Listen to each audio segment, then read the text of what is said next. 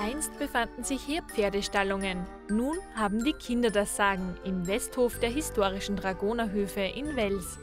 Betreut wird die Krabbelstube mit Kindergarten und Hort für die Nachmittagsbetreuung vom Oberösterreichischen Hilfswerk. Mitte November wurde die neue Einrichtung feierlich eröffnet. Im Oberösterreichischen Hilfswerk sind Kinder und Jugendliche ein sehr wichtiger äh, Teil der Arbeit. Wir haben in Oberösterreich in etwa 150 Kinderbetreuungseinrichtungen und derzeit integrieren wir in etwa 800 Jugendliche in den Arbeitsmarkt. Kinderbetreuung ist ein ganz wichtiger Teil unserer Arbeit im Hilfswerk, äh, neben der Pflege und neben äh, auch unterstützenden Aktivitäten, äh, etwa in der Jugendarbeit. Und die Kinderbetreuung ist ganz einfach auch von unserem Selbstverständnis her äh, eine Basisarbeit, also etwas, wo wir auch an den an der Grundlage unserer Gesellschaft arbeiten und das tun wir auch sehr gern. Auf den rund 500 Quadratmetern können sich die Kinder so richtig ausleben. Wir haben ein Angebot für die Kinder von ein bis drei Jahren und von drei bis sechs Jahren. Also im Gebäude selber sind vier Gruppen untergebracht. Eine alterserweiterte Kindergartengruppe, eine Regelkindergartengruppe und zwei Krabbelstuben. Eine alterserweiterte Kindergartengruppe heißt einfach, dass da Kinder über drei genauso drinnen sind wie Kinder unter drei mit einer zusätzlichen Pädagogin.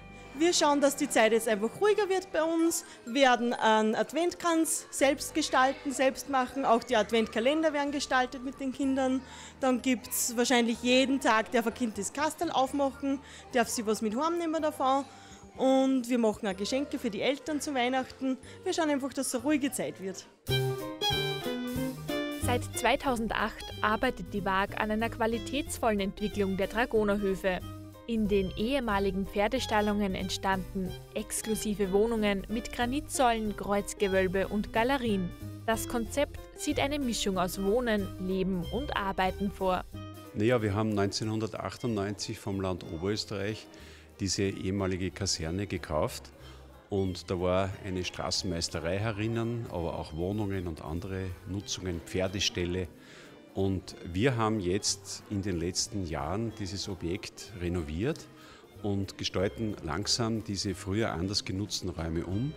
Und da passt es sehr gut in das Konzept, dass neben dem Wohnen auch andere Funktionen wie äh, Geschäftslokale bzw. Bürolokale, aber eben auch soziale Einrichtungen da sind. Und da passt dieses Konzept des Hilfswerks mit der Krappelstube, dem Kindergarten und dem Hort ganz wunderbar dazu, sodass wir eine sehr schöne Mischung zustande bekommen. Wir haben ja lange Gespräche geführt äh, mit der Stadt Wels, aber auch äh, mit der äh, WAC und ich muss sagen, das waren sehr, sehr äh, konstruktive Gespräche. Ich habe mit dem Magister Schön hier äh, wirklich einen äh, exzellenten Gesprächspartner gehabt und wir sind äh, auch froh, dass wir hier sein dürfen und dass die WAC hier äh, Partner ist und das funktioniert hervorragend.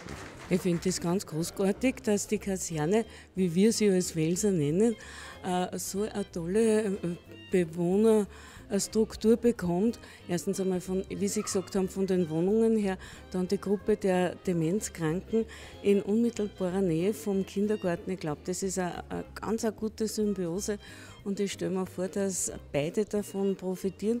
Die Kinder genauso wie die älteren äh, Damen und Herren, die da herinnen sind. Ich stelle mir das ganz besonders schön vor. Eines ist sicher, die Kinder des Kindergartens und der Krabbelstube Dragonerhof hauchen dem historischen Gebäude neues Leben ein.